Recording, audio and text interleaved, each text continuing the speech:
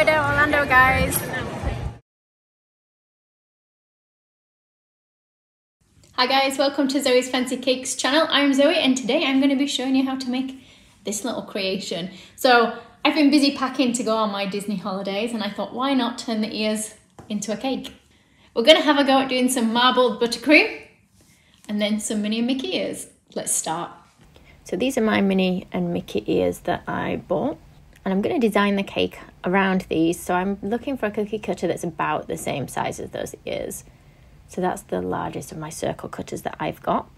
And I'm going to pre-make the ears before I make a start on the cake itself. So I'm going to use some flower paste. So you can use flower paste or gum paste. You want something that's going to set nice and hard. Now, originally I'd planned on doing these as little ginger biscuits, which I think would taste nicer because you're not really going to want to eat the flower paste because it sets quite hard. But I just ran out of time, guys. So it was quicker for me to just make make them in gum paste. And that way I can do them ahead of time as well. So I'm just going to push a kebab skewer, a wooden kebab skewer, into each one. I'm going to use the pointy end first to make the hole, and then I'll turn it around to the pointy ends at the bottom, just so it goes in the cake a little bit easier. Now, I think on the headband, the ears are slightly oval, maybe. They're not quite round, so I'm just stretching these out a bit. So I'm just going to put these on my little foam board, and then what I'm going to do is put a stitching line in around the outer edge, just using this little stitching tool like so. Do that on both ears.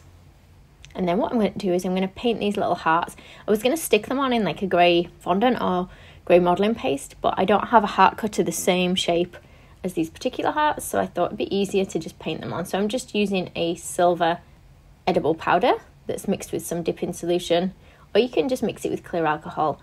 You can mix it with water, but it just ends up a little bit clumpy. It doesn't give you a nice smooth paint. So we're just going to paint those hearts over those two ears. They can go to the side now to dry.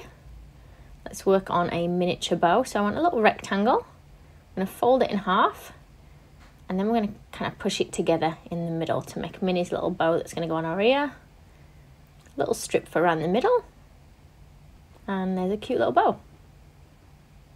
I'm going to try and keep it a similar size to the ears that I've actually got.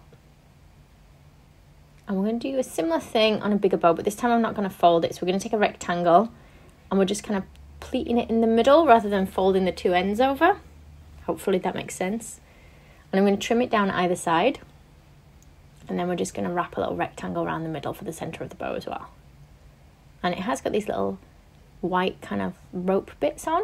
I'm going to use my clay extruder for this. Just using a little round nozzle and then it's just some more of that white flower paste that I'm just pushing through it. Now, the bow does have this on top and bottom. I'm only going to put it on the top just because I think I might break it on the bottom when I'm pushing it into the cake. So I'm sticking it on with just a little bit of edible glue and you're going to try and create little loops or sort of arches with it. Just take it up to the middle bit and then start from the other side of the middle bit again, going across to the other end of the bow. Now, I used some greaseproof paper or baking paper, guys, to just kind of trace over the size and shape of the Mickey and Minnie faces. So I've only traced around one, and then I'm putting it down into some black flower paste or modelling paste. You can use modelling paste as well. You can use fondant, guys, but you'll probably need to add some CMC or Tylose to it. So I don't know if you can see that. I've just pushed through with my Dresden tool just to create an outline, and then we're going to just cut all the way around that mark that you've done like so. Just round off any edges if you get any untidy edges. I'm going to flip it the other way for the Minnie one. And we're just going to repeat the same thing again. So I'm just pressing down with my Dresden tool just to make a bit of a mark. I'm also marking around sort of the edge of where the white will be. So for the white bit, I've rolled some flower paste really thin, sort of as thin as I can get it. Because then you can see when I press it over the face, you can see where that mark is that I've made. Now I'm going to stick it down with some water or edible glue, but just make sure you don't put that water or edible glue beyond where the white is supposed to go. So just press it carefully around the edge of the face, and then we're going to cut where you can just see the indentation of that line, like so. I'm going to go back to my piece of greaseproof paper and just check whereabouts the facial features want to go. So I'm just pressing down with the pointy end of my Dresden tool. And you see when I press down, it shows you the black underneath, which I think works well on this one. I'm going to take a tiny bit of that red And we're going to squeeze that down so we get a red dot on the cheek. And then we just want a little oval of black paste for the nose.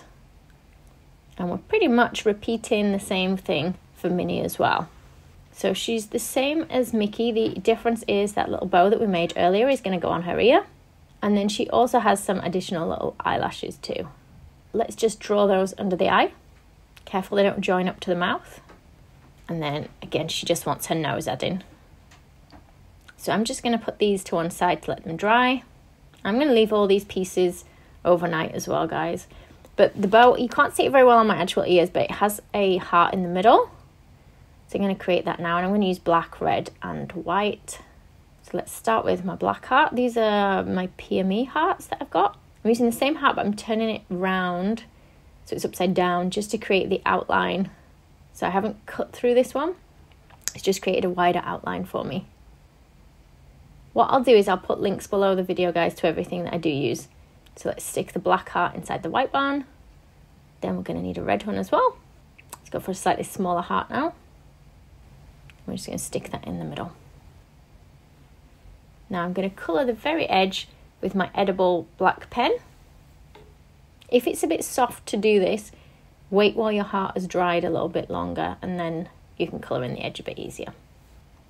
So the following day is when I work on my cake. So I'm just going to stack up a few layers of chocolate cake. I'm just using some plain buttercream in between each layer. It's up to you how tall you'd like to go with this one. And I'm using six inch cakes. I don't want to put the filling too thick, otherwise it will start to bulge out a little bit as they go taller. We're going to give it a light coating of buttercream all the way around the edges for our crumb coat. Doesn't need to be on thickly at this point, just a nice thin layer is fine. So to create the marbled effect in the buttercream, I'm going to use some grey Colour Mill. So the Colour Mill is quite a good food colour for buttercream because it's an oil-based colour. I'll put links to it below. Um, I do sell this in my online shop, guys. Don't put too much in and don't mix it very well.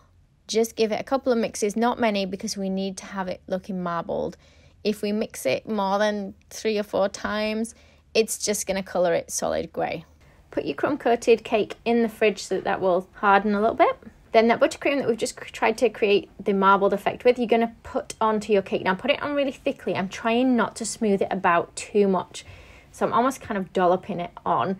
And you can even put some just of the plain buttercream that hasn't got any colour in between as well.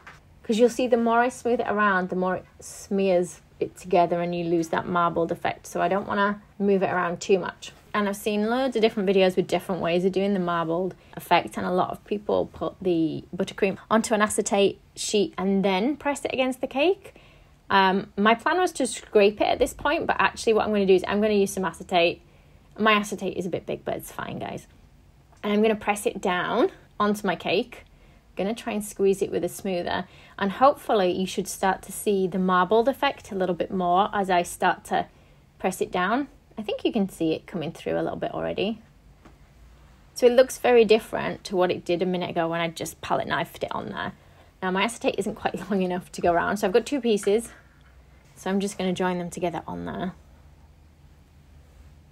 maybe in another video if you guys want to see me do more marble buttercream i'll try doing it the other way around where you put it on the acetate and then place it on the cake. So slightly different to what i've done here.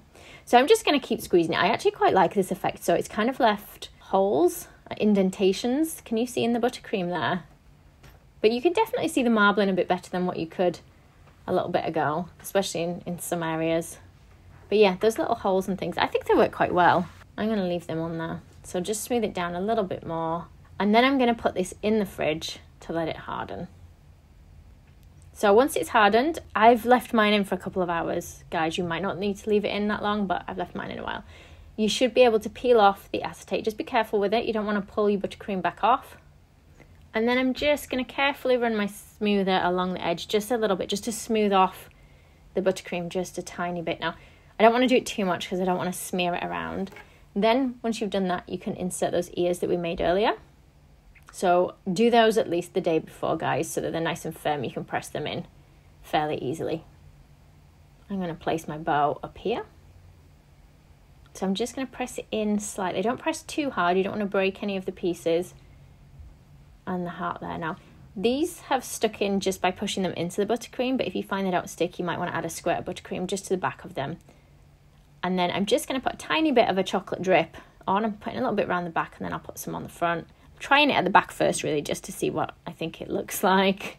So I'm not going to put the chocolate drip everywhere at the front. Let's just put a bit here on this side. Again, I'll put links to what I've used below the videos, guys.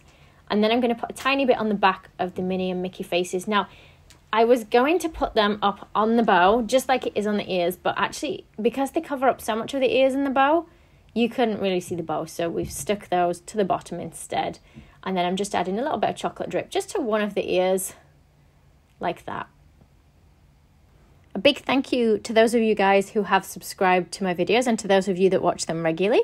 Don't forget to click the little bell icon under the video to get notifications of each time I bring out a new tutorial. So this isn't the first time I've had a go at Minnie and Mickey ears. A while ago, in fact, last time I was in Florida actually, I had a go at some Isomalt Minnie and Mickey ears. And what I'll do is I'll put a link in the corner of the video for you to click to have a look at that one.